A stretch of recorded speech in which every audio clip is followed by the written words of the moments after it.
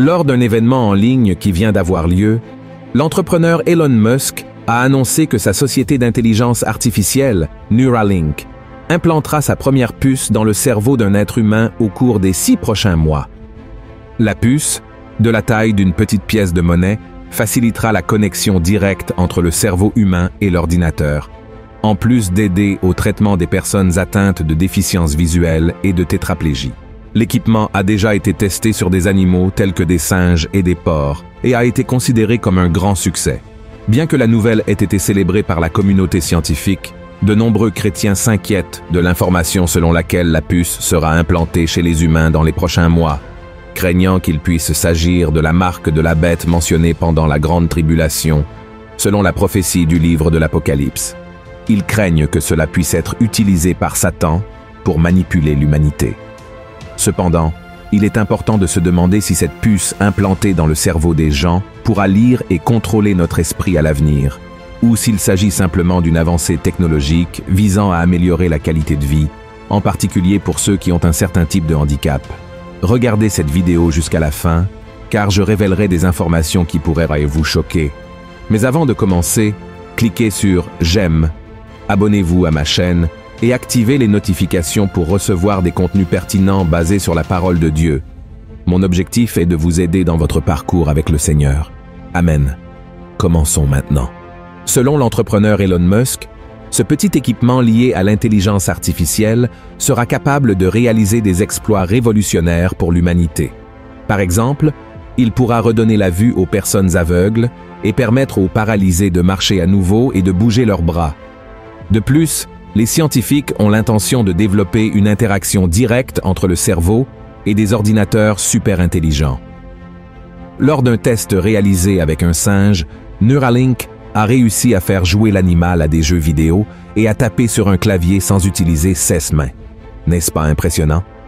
Elon Musk a déclaré lors de l'événement en ligne que certaines parties des documents nécessaires pour le début des tests de la puce ont déjà été remises à l'agence fédérale américaine, responsable du contrôle des activités liées à la santé publique. À la fin de la conférence, l'entrepreneur a également déclaré que son souhait est que toutes les personnes aient accès à cette puce, qui ne servira pas seulement à guérir les personnes ayant des besoins spéciaux, mais aussi à faciliter la vie de tous dans l'accès aux technologies émergentes dans le monde. C'est pourquoi de nombreux chrétiens sont préoccupés, car ils pensent que cette puce pourrait être la marque de la bête mentionnée dans la Bible, que l'Antéchrist obligera tout le monde à utiliser. Ceux qui n'auront pas cette marque sur la main droite ou sur le front ne pourront ni acheter ni vendre, comme décrit dans Apocalypse 13, versets 16 à 18 l'Antéchrist implantera une puce ou une marque, comme une sorte de tatouage, sur les personnes pour les identifier. Ceux qui refuseront de porter cette marque seront persécutés et tués. L'apôtre Jean ne fournit pas de détails sur la nature de cette marque, car il serait difficile de décrire en mots une micropuce ou quelque chose de similaire, étant donné que 16 technologies ont été développées près de 1900 ans après la vision qu'il a eue sur l'île de Patmos. Nous ne pouvons pas affirmer catégoriquement que la puce de l'entreprise d'Elon Musk est la marque de la bête. Cependant, il est important de reconnaître que dans le futur, l'antéchrist pourrait utiliser toute la technologie disponible pour manipuler les gens. Si cette puce est capable de détecter les activités des neurones, nous ne pouvons pas exclure la possibilité que Satan influence des scientifiques mal intentionnés pour envoyer des commandes au cerveau afin que les gens agissent selon le mal. Malheureusement, il n'y a aucune garantie que cela ne puisse pas se produire, car une fois la puce implantée, nous remettrions le contrôle de quelque chose qui devrait être exclusivement nôtre. Cela signifie que la technologie pourrait lire nos pensées à l'avenir. Le diable pourrait en profiter et essayer de nuire à nos vies. Il est important de préciser que la puce de Neuralink agira d'abord dans les zones sensorielles du cerveau responsables des cinq sens. La vue, l'ouïe, le goût, le toucher et l'odorat. Nos pensées ne proviennent pas de ces zones, elles émanent du subconscient, une zone accessible uniquement à Dieu. La Bible dit en 1er roi, chapitre 8, verset 39, que seul le Seigneur connaît les pensées les plus intimes du cœur de l'homme. Par conséquent, même le plus grand scientifique de la Terre, la puce d'Elon Musk ou le diable lui-même ne sont capables d'accéder à ce qui est dans notre âme. La parole nous montre que seul le Seigneur sait toutes choses Autrement dit, Satan ne peut pas lire nos pensées. Cependant, rappelons-nous qu'il peut observer nos actions et entendre nos paroles. À travers la connaissance qu'il a de notre vie, Satan peut créer des tentations pour exploiter les faiblesses de notre caractère. Cependant, en ce qui concerne notre esprit, bien que Satan ne puisse pas y accéder, il peut susciter des pensées destructrices à notre sujet. Dans ce sens, cette puce pourrait être un outil utile à cela.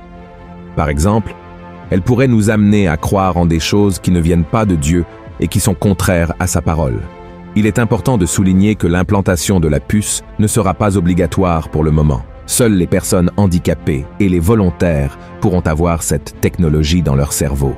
Cependant, nous devons rester attentifs aux signes que la Bible nous donne, car viendra un temps où les gens ne pourront effectuer des transactions sur Terre que s'ils ont la marque de la bête sur leur corps. Il est également important de se rappeler que cette puce ne sera pas la première à être implantée chez les êtres humains. Des pays tels que la Suède, par exemple, ont déjà des programmes pour attirer des volontaires acceptant d'avoir une puce implantée sous la peau pour prouver leur identité et afficher des informations telles que le certificat de vaccination contre la COVID-19. Je sais que tout cela est effrayant, mais cela fait partie de l'accomplissement des prophéties bibliques.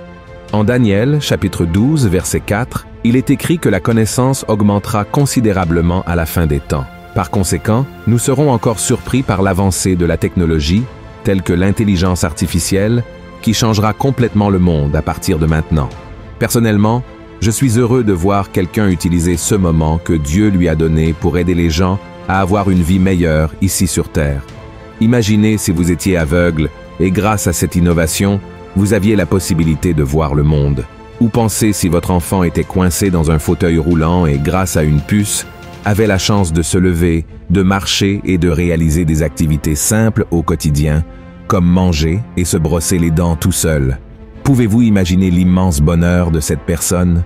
Seuls ceux qui ont un être cher avec des limitations physiques savent à quel point une technologie comme celle-ci serait merveilleuse. Face à cela, la question se pose, comment quelque chose d'aussi bon pourrait-il être créé par le diable? En réalité, l'ennemi profite simplement de quelque chose qui a été créé pour le bien et l'utilise pour accomplir ses desseins maléfiques. Il est très probable que l'intelligence artificielle soit une arme largement utilisée par lui. Elon Musk, qui a souligné l'importance de sa puce pour l'évolution humaine, a mentionné en 2014 que l'intelligence artificielle pourrait invoquer le démon.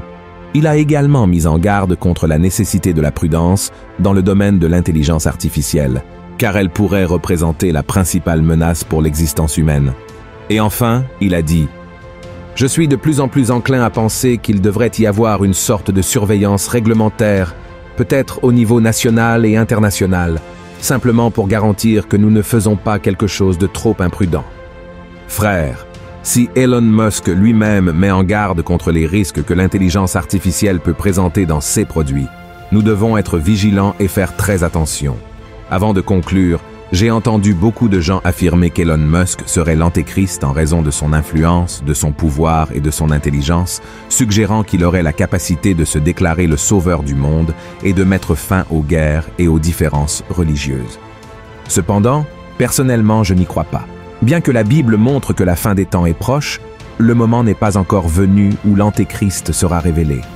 Cependant, son esprit maléfique opère déjà parmi nous et influence la vie de nombreuses personnes, y compris des dirigeants politiques, des scientifiques, des entrepreneurs, des artistes et des personnes influentes.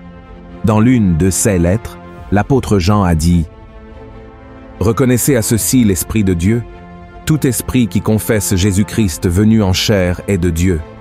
Et tout esprit qui ne confesse pas Jésus n'est pas de Dieu. C'est celui de l'Antéchrist, dont vous avez appris la venue, et qui maintenant est déjà dans le monde. Amen, frères, il est important de prier pour que Dieu ait pitié de nous et ne nous laisse pas être trompés par tout ce qui se passe dans le monde. Comme je l'ai dit, toute technologie n'est pas mauvaise, mais le diable est rusé et peut effectivement utiliser ces outils à son avantage. Alors, restons vigilants. Amen. Si vous avez apprécié ce message, partagez-le avec vos amis, votre famille et abonnez-vous à ma chaîne. Je vous attends dans la prochaine vidéo. Que Dieu vous bénisse